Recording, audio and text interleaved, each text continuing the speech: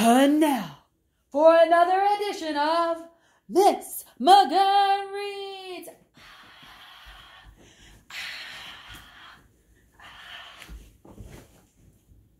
I lost my hood on that one. What's up, guys? I'm back. It's Miss McGurn here for another edition of Miss McGurn Reads. Are you guys ready? We're going to be reading a story called What's That, Mittens?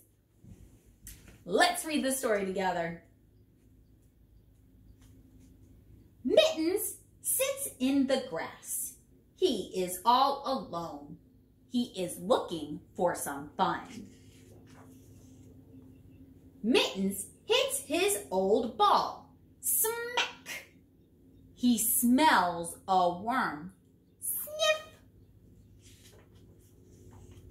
Mittens flips his tail back and forth, back and forth. Then he hears scratch, scratch. What's that, Mittens? What's scratching behind the fence? Mittens runs to the fence. He scratches in the dirt. Scratch, scratch. Ruff, ruff. What's that, Mittens? What's barking behind the fence? Mitten meows by the fence. Meow, meow. Dig, dig.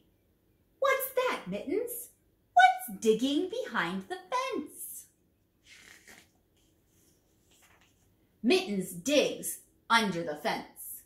Dig, dig. Mittens digs fast. Dig, dig. Mitten digs deep. Dig, dig. Soon there is a big hole. Mittens stops digging. He looks under the fence. Mittens sees Max. Face to face, eye to eye, nose to nose.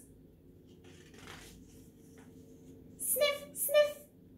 Mittens likes Max. Lick, lick. Max likes Mittens too. Mittens has found a friend. What a sweet story that was. I hope you guys really enjoyed that story with me. Thank you so much for coming on. You guys already know the drill. Stay safe, stay healthy, stay happy, and I'll catch you guys later. Bye.